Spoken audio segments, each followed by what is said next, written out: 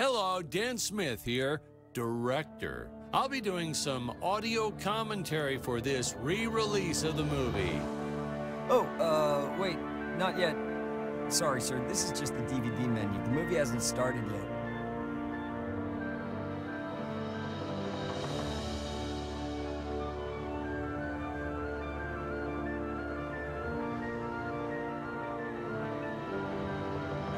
I see you dug up the original movie poster.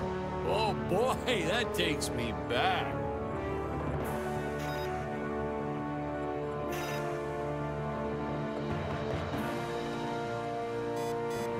Wait, whose volume does that control?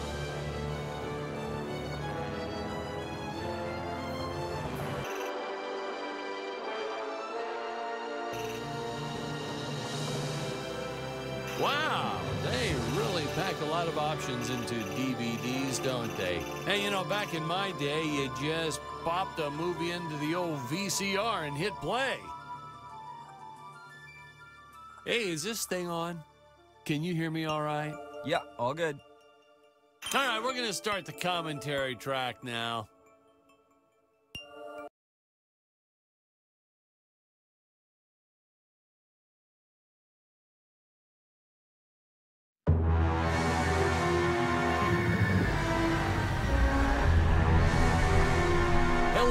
Dan Smith here. I directed this film back in, uh, well, it feels like a century ago. Yeah. The studio asked me to provide a commentary track for the DVD release. And wham, straight into the action. No fluff or anything.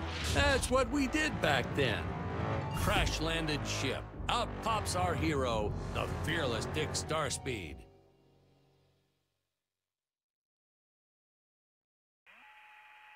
The ship's velocity reactor is damaged. I believe that I am stranded on an alien planet. Played, of course, by actor Jonathan Digby. Went on to some minor roles after this. Ah, such a shame. I thought from day one this guy's got leading man written all over his face.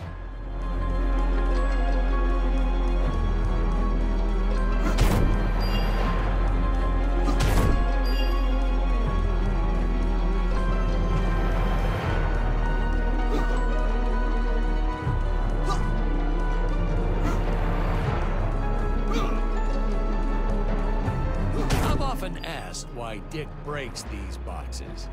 He actually ad libbed it. I told Jonathan, always keep things exciting.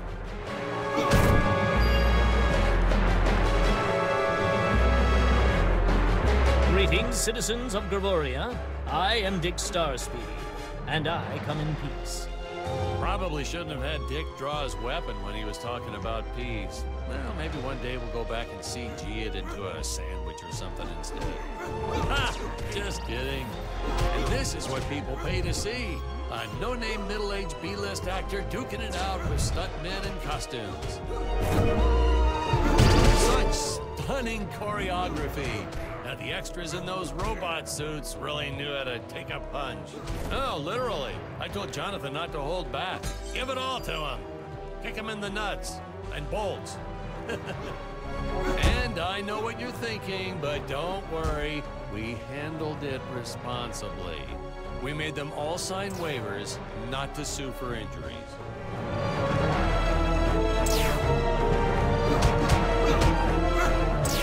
You know the hero means business when they take a shot from a monster and shoot it right back at him. In my professional opinion, that is the coolest of the cool.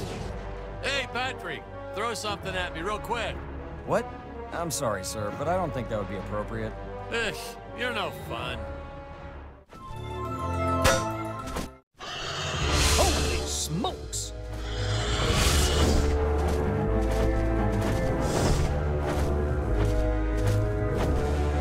If I land squarely on that grain silo, I should survive this fall unscathed. I shouldn't say this now, but you could actually see the strings if you squinted hard enough. A screenwriting trick from back in the old days. You put a grain silo or some haystacks down, and it solves all your gravity related problems. It appears some of my equipment was lost when my ship was shot down. But what luck! This high tech scanner reports that my ray gun is nearby.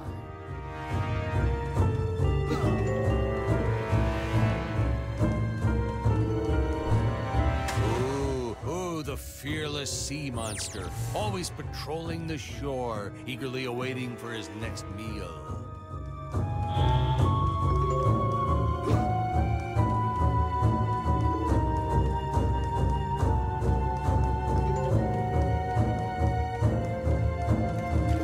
Ah, the dinosaurs.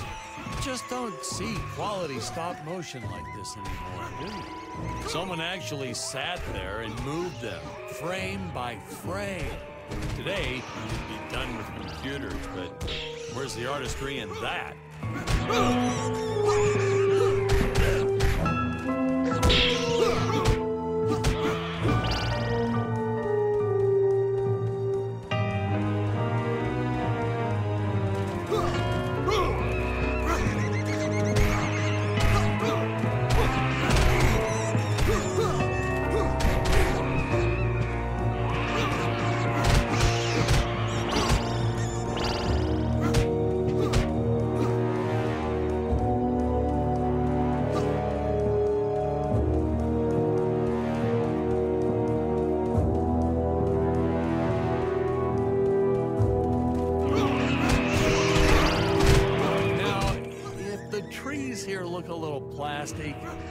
Well, it's because they are.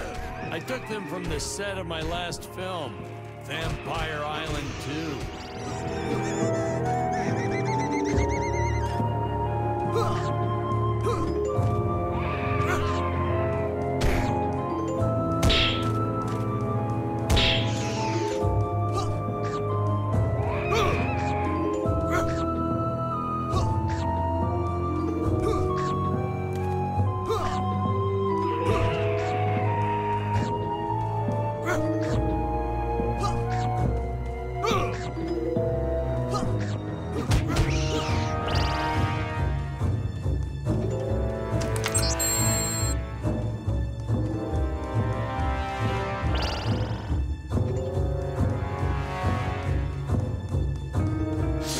Fair share of nasty letters from scientists complaining about our portrayal of the dinosaurs. Was news to me. Apparently, these stegosauruses weren't meat eaters. Must have preferred shellfish or something. Wow, how do they know? That's what I say.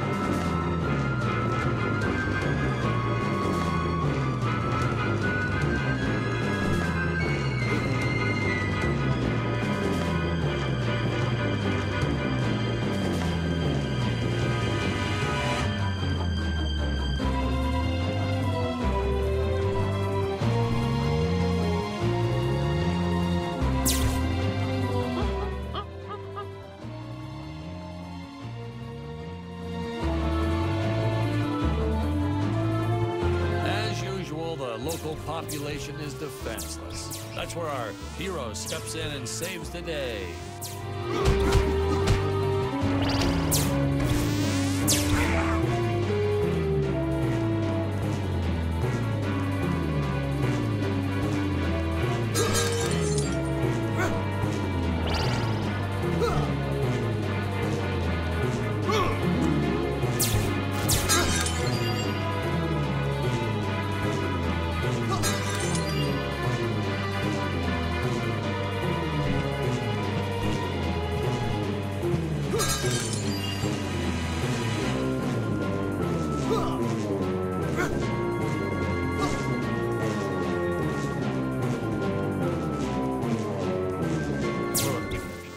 Jonathan threw a lot shooting this film. He wasn't the best actor, especially when reacting to getting hit. He's what you call a flincher. So I told the stuntman to really just go to town on him.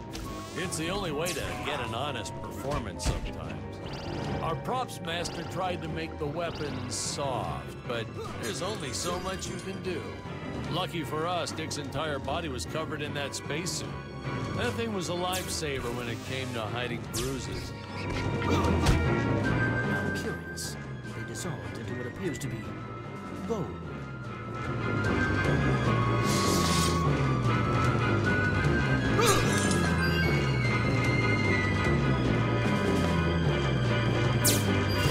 You'll notice the gold disappears when Dick touches it. We had a deleted scene that explained he's actually teleporting it back to his ship. It's funny, no one ever questioned how Dick was able to walk around with an infinite amount of gold on him.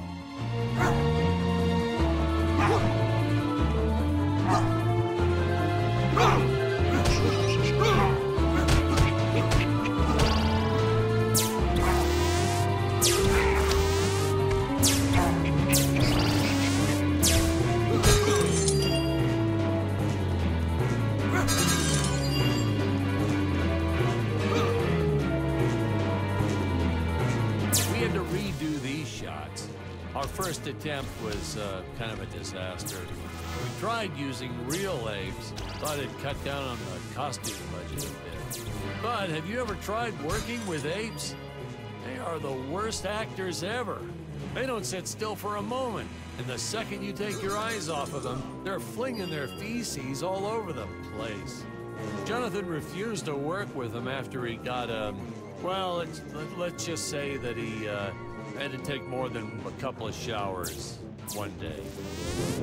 You know, you never forget the smell of monkey poo. We steam cleaned the studio top to bottom. Still never got rid of it entirely. All through the rest of the shot, we kept finding those little surprises hiding inside various props. Boy, were those the days.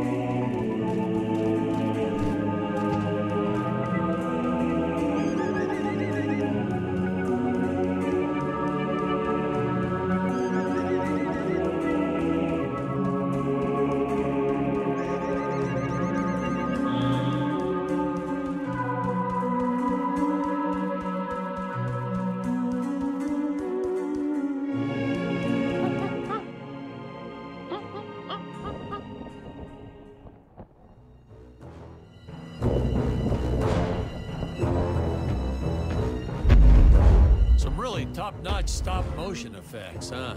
Unfortunately, we skimped on the Dick Starspeed puppet a little. The Earthman is not for you to eat, fiend. Oh, this was groundbreaking. We had the woman rescuing the man for once. We were really ahead of our time with this scene, but well, then again, I've always been rather progressive. The studio exec didn't seem to get why it was such a big deal, though. Sorry, we don't see this as anything unusual. Ha! Of course! It's unusual. A woman would never save a man. It just doesn't happen. Not in the movies, not in real life. I don't know why we didn't get more recognition for this scene. I guess I was just a little too ahead of my time.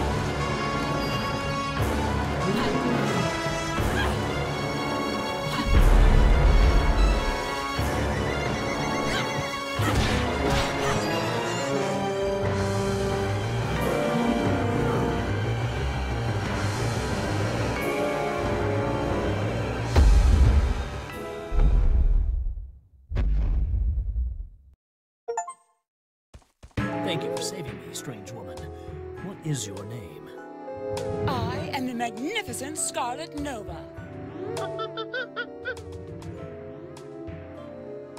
Do not question my motives. Just be happy that you are still alive. I must speak with my father at once. I shall teleport to his chambers.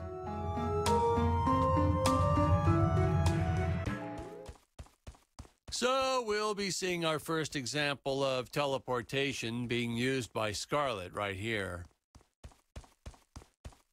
As soon as this current shot ends,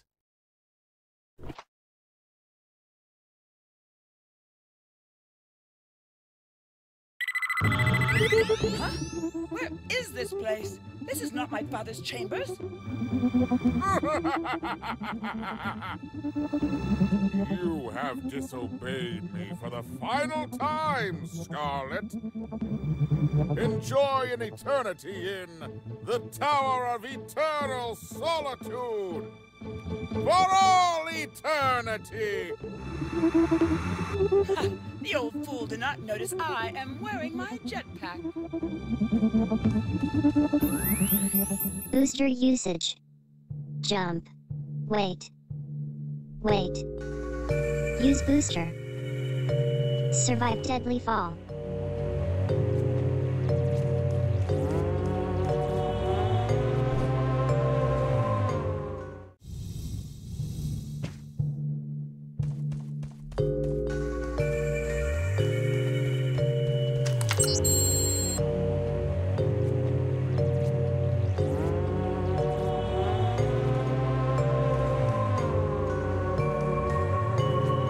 Scarlet didn't quite realize she needed to shoot those energy orbs down below.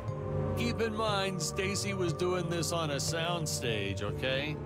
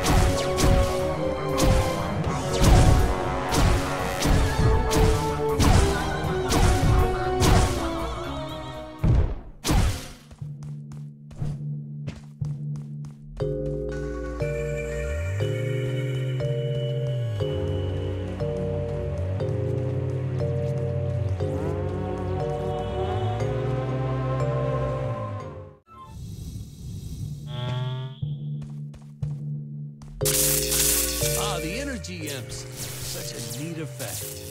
We had to paint each movement frame by frame and superimpose it into live footage. We were pulling all-nighters for weeks. Well, when I said we, I meant the artists. I'm pretty much useless if I don't get a solid 10 hours a night. But they were at it forever. Eh, they had to redo it all because I accidentally told them red instead of blue the first time. Artists.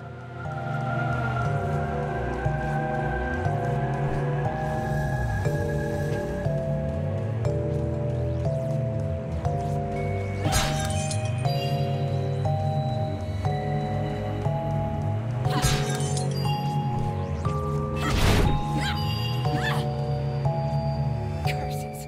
My father revoked my access to the teleport terminals. Only be able to utilize the ones I activate manually.